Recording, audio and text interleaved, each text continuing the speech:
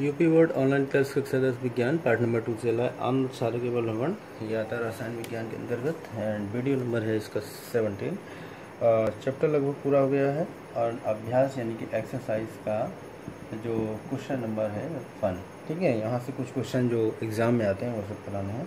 पहला है कोई बिलियन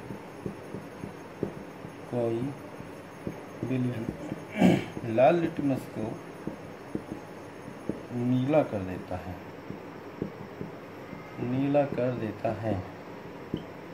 पीएच मान क्या होगा? पीएच संभव, संभवतः क्या होगा? यानी उसका पीएच मान क्या होगा? ऑप्शन ए है वन, बी है चार, सी है पाँच, एंड डी है दस। ठीक है? देखिएगा। जो लाल को नीला करता है, लाल लिटमस को करता है नीला। वो होता है क्षारक। एंड पीएच जो पैमाना है, सात नंबर पे होता है जल और सात से कम ज़ीरो से लेकर छः तक ये होते हैं अम्ल और सात से आगे वाले होते हैं क्षारक। यानी कि क्षारक है तो सात से ज़्यादा ही होगा पीएच का मान। सात से ज़्यादा यहाँ क्या है? ये होगा दस। अगर अम्ल होता तो वन, फोर या फाइव कोई भी हो सकता था। परंतु एक ही तो आंसर मिल सकता है तीन तो मिलेंगे नहीं। ये है क्षारक जो लाल लिटमस को नीला कर दे रहा है और क्षारक को केवल एक ही आंसर दे रखा है वो भी दिया है दस। यानी सात से ज़्यादा सात से ज़्यादा वाला होता है क्षारक ठीक है? तो इस तरह का क्वेश्चन भी एग्ज़ाम में ऑब्जेक्टिव क्वेश्चन छोटे क्वेश्चन में आता रहता है ठीक है? तो ये पहला ही क्वेश्चन था। आ, अगला क्वेश्चन क्वेश्चन नंबर देखते हैं जो ठीक ठाक है। आ, जैसे कि क्वेश्चन नंबर है हमारा टू क्वेश्चन नंबर टू में कहा है, कोई बिलियन अंडे के पिसे हुए कवच की अभिक्रिया करके गैस उत्पन्न करता है और उसे चूने के पानी को दूधिया कर देता है। बिलियन, इस बिलियन में क्या होगा? देखिए, कौन सा बिलियन होगा? कोई बिलियन अंडे के पिसे पिसे हुए कवच अंडे के पिसे हुए कवच से अभिक्रिया करके, से अभिक्रिया कर एक गैस उत्पन्न करता है। गैस उत्पन्न करता है जो चूने के पानी, चूने के पानी को दूधिया कर देती है। इस बिलियन में क्या है?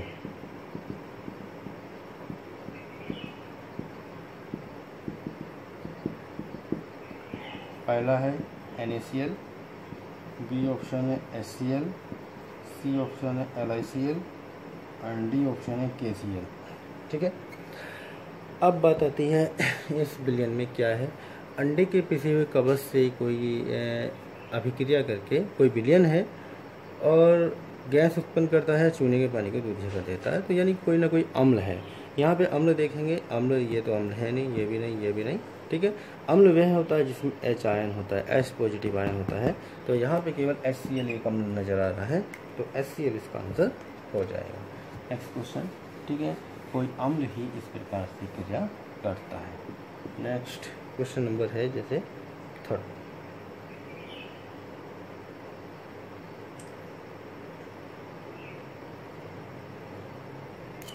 एन ए के 10 बिलियन एन ए के टेन एम एल बिलियन और एस सी एल के कितने हैं? एट एम एल बिलियन को पूर्ण उदासीन करता है। ठीक है? एन के 10 M L billion S C L के पाँच आठ एम एल को पूर्ण उदासीन करता है। आगे कहा, यदि एन की बीस लें, यदि एन ए ओ एच के बीस एम एल बिलियन ले बिलियन ले। तो एस सी एल के कितने होने चाहिए? एस सी एल के सोलह होने चाहिए ना? कितने बिलियन की आवश्यकता होगी? तो पहला ऑप्शन है फोर एम एल, बी है आठ एम एल, एंड सी है बारह एम एल, एंड डी है सिक्सटीन एम एल। तो दस एम एल, एन एच के 10 M L, S C L के आठ एम एल को संतुष्ट कर रहे थे। तो एन के 20 एम एल के आठ दूनी सोलह एम को सेटिस्फाई करेंगे या संतुष्ट करेंगे, ठीक है? उदासीन करेंगे।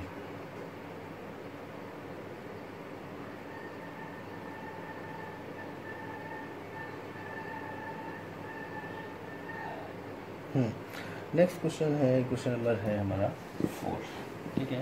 क्वेश्चन नंबर फोर एक्सरसाइज में दिया हुआ है कि अपच अपच का उपचार करने के लिए, करने के लिए किस औषधि का उपयोग करते हैं? अपच कब होता है? औषधि का उपचार करते हैं। देखिएगा, हमारी बॉडी में एस सी एल नामक एक अम्ल बन जाता है, जो भोजन को पचाने में सहायक होता है, एक अम्ल बनता है, ठीक है ना? अम्ल की अगर अत्यधिक मात्रा बन जाए यानी अम्ल ज़्यादा बन जाता है तो क्या होता है? यानी अपच की स्थिति आ जाती है। जब अम्ल ज़्यादा मात्रा में बन जाता है तो क्या बन जाता है? क्या हो जाता है? अपच हो जाता है। अब क्वेश्चन में कहा है कि अपच ना हो, यानी कौन सी दवाई दिया जाए? तो पहली है प्रतिजैविक, यानी कि जैव तो बने नहीं है है ना? दूसरी है एनालजेसिक। एनालजेसिक ये है एक पीड़ादारी तो पीड़ा तो पीड़ादारी तो ज़्यादा फ़ायदा देगी नहीं। एंड सी है एंटीसिड एंटीसिड जो होती है, ये इसमें एक क्षारक होता है। ठीक है? और जो फिर आगे है एंटीसेप्टिक एंटीसेप्टिक यानी कि प्रतिरोधी, ये प्रतिरोधक क्षमता बढ़ाती है तो एंटीसेप्टिक भी नहीं। तो एंटीसेटिक है एंटीसेटिक मतलब जो एसिड को कम कर देती है, जिसमें लवण की मात्रा ज़्यादा होती है। यानी कि अम्ल की मात्रा कम करनी, यानी कि क्षारक होती है। क्षारक की मात्रा थोड़ा ज़्यादा होगी और अम्ल की मात्रा को क्रिया करके उसको हटा देती है। जब अम्ल ज़्यादा बन जाता है, अम्ल की मात्रा ज़्यादा होती है, तभी अपच होता है तो एंटीसेटिक एंटीसेटिक मतलब एसिड को कम करने वाली जो एंटी एसिडिक होती है, वो ही उसके यूज़फुल दवा होगी ठीक है? यानी कि उसको हटा सकती है।